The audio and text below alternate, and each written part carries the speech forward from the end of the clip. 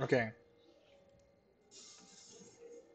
All right. So let's say I want to do something. I have I have some basic animation set up just for this demo.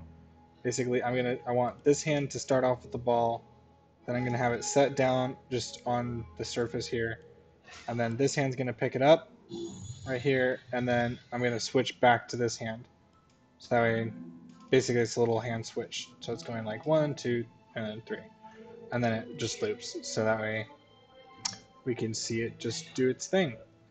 All right, so when I set up constraints, I always start off by, I might get this animation blocked out. I might do this while I'm doing my blocking, but in this case, I just set up the animation first. Um, but I like to set up a locator that's at the center point of where this, basically your object that you're going to be uh, constraining. I'll go up to create and add a locator and then just so that way like I could see it because once I hide this or once I move this underneath here I'm not going to be able to see it. So if you notice under locator shape this is local scale. I'll just take that I'll select those three and I'll middle mouse click so that way my locator scale is a little bigger. Or you could just manually come over here and just type in a bigger scale. Um, just that way we could see it because otherwise it would be lost inside the geometry. And I don't really want to scale it because that can mess up with the constraint so we're just going to do it like this. All right. Now I'm going to go ahead and just place it roughly where the center of this object will be. We're going to we're going to move it a little bit because uh, depending on where it starts out ends up, you know, uh, uh, yeah. Uh, sorry, I lost my train of thought. Anyway, but yeah, you set up the locator. Uh, this is just going to be constrained to this. So I'm going to go ahead and set the locator and select the ball. And I'm just going to go ahead and do that right now. Come over to my uh, animation. Let's go constraint, and let's go ahead and do a parent constraint. So that way when we move our locator, it's going to move the ball. And then uh, to get it attached to the hand, since we have it at the world here, uh, I'm going to go ahead and set it up here. I'm going to find where I want that contact to happen. I want the contact to happen here, so I'm going to take my locator and I'm just going to parent it to this. Um, typically I'll take this and I'll parent to like the controller or something, and not the geometry itself, but since we don't have any controllers, it's just geometry, I'm just going to parent this straight to the geometry. So now you can see it's already constraining there. Whoops, did I not? Okay, so my uh, my parent constraint did not, um, when I parent constrained it, my defaults, my rotations were turned off, so I'm just going to reapply that. Uh, and what it will do is that. Uh, yeah, so I have to go ahead and delete that parent constraint real quick. Uh, if you want to delete a parent constraint, just select your object that's constrained, and you can just delete these just like that. Just hit delete delete key, and I'm just gonna reapply that constraint, and I'm gonna turn maintain offset off, so that way whatever the locator is, this is just gonna obey that. So locator, then the object, and then you'll notice it rotates because um, that's whatever the rotation up is. Uh, if we were to come over to our, our objects up, you can see that the object is pointing up is this way, and then the ball is also going to point that way. So let's go ahead and say, all right, we want to go ahead and put it here, and it's going to set down right around this frame here, frame 15. So then basically you do is you're going to hit S on the key that you want to uh, set down the ball, and you'll notice that it now the constraint just completely ignores. And you'll see when you hit S, it created this thing called blend parent. Um, that's exactly what you want. You want to make sure that that's keyed at zero, at 15, and then at 14, you're going to key it at one. So basically, what happens is before uh, at one or anything when it's set to one up here, is set to one, it's going to be constrained to the locator. And then once it's turned to zero, now it's just going to be constrained to world. Um, that's when you hit S. Let's say we wanted to move this right here, so that way instead of the locator being like zeroed out right here, and we want to move this up here. Whoops. Let's go ahead and turn the blend parent back on, and then uh, so that way when we move this, it's going to move. Um, let's say we want it to end up here. If I were to turn blend parent off, notice how it goes back to world if I just middle mouse click. It's going to world. We don't want that. We want it to end up here. So every anytime you want it to be in a new spot, all you have to do is hit S, select the object that has the constraint on it, hit S, and then you'll notice that basically when you turn the constraint off, notice how it didn't move now. Now blend parent's off and it's now here. So now when we move this, now this is the new spot. So basically from 15 to like whatever, you can actually start animating this like you normally would and it'll add keys. Oh, I have step keys on, hang on. Do, do, do, do. Turn that to auto and then save. And then just auto add my step keys by default, my default settings. So you can see like we can just animate this now, basically, and it's gonna animate like normal. I didn't, I don't want animation, but just to let you know. Um, let's go ahead and move this back. Put put it at one. Move this to roughly where we want the ball to end up, and then select that.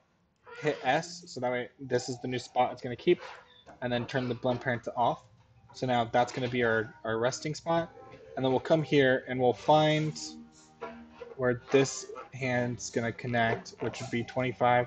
This hand doesn't connect all the way, so I'm going to just move it over right there.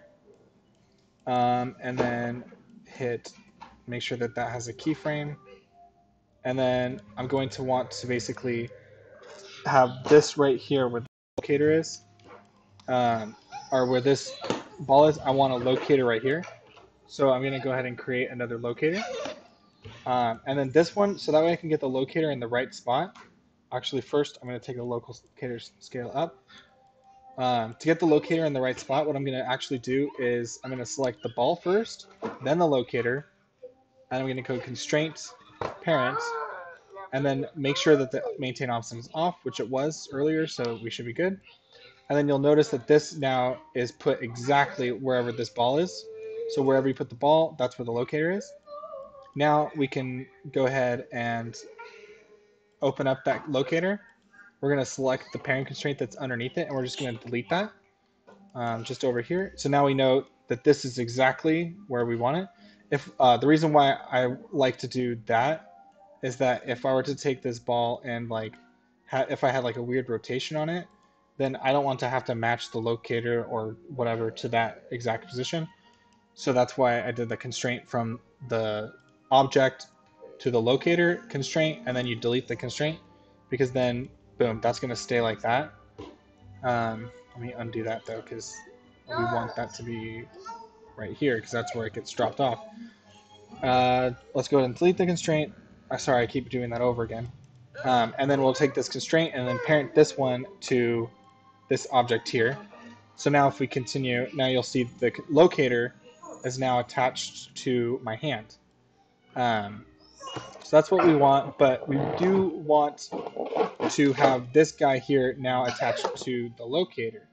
So we'll take the locator, we'll take the object, and then we'll do a constraint and a parent constraint. Um, remember that uh, maintain offset is off. And or remember those settings once you do them, but you just want to be aware that you know when you first do it, you want to make sure that it has maintain offset off. Um, we're going to go ahead and hit S here. And then right here, we're going to want to turn the blend parent on. But you'll notice when I turn it on, it's going to do this. So what it's doing is it's blending between the first one and the last one. And we want only the last one to be affected. Uh, we want it only to be affected by this one and not by this one, which it is. So what we'll do is on our object that has constraint, you'll notice it has these locator things right here. This is the first locator that we constrain to and this is our second locator that we constrain to. What we'll want to do is basically put keys on these, um, and the same the same uh, keys that we put to uh, basically our blend parents. Okay, stop. So basically, on the first one here, on frame 14, we'll want to make sure that locator 1 is keyed to 1, which it is, but we want to make sure that locator 2 is keyed to 0. That way, basically now you can see it's only affected by locator one. And then when we get to lo or when we start doing this part here, we're going to want to make sure that locator two is now turned on and locator one is turned off. And then uh, I have auto key on, but if you don't, then you'll want to make sure that you go key selected. And then you'll see here, locator one turns off, it sets it down, this hand comes over and picks it up. Now, let's say we want to go ahead and have them do the switch, right? Now, I'll need to go ahead and find the key I want. I'm going to do this key, and I want to make sure that this key comes over here, close over there, and then I'll go ahead and make sure that that has a key on it. I'm going to have it come here, and then I want that to have the switch. Right now, it doesn't switch. It stays on this hand when we want it to go on that hand. So if we want it to switch, we're going to go over here. We're going to select our ball. And then right here where it has the keys, on frame 49, we'll go ahead and key those the way that they are right now. So go to key selected, and then key 50, uh, 50, we'll go ahead and switch this out so that way locator 1 is now affected, and locator 2 is now 0. Now you'll notice something though. Right now it has that and then it pops. The reason why it pops is because this locator here has the rotations from earlier. So what we'll want to do is for this part here where it says down, we'll want to make sure that that has a key because we want to make sure that this stays at this orientation for that part. And then when it comes over here, when it does the pop, we'll want to make sure that this locator matches like that.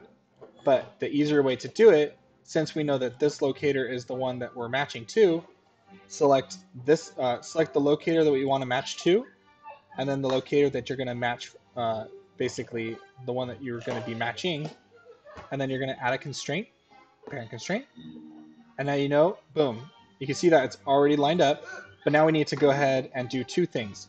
We need to delete the constraint that's on there, but first we need to add a key to this new post because if we move it, you can see it, now the locator is not in the right spot.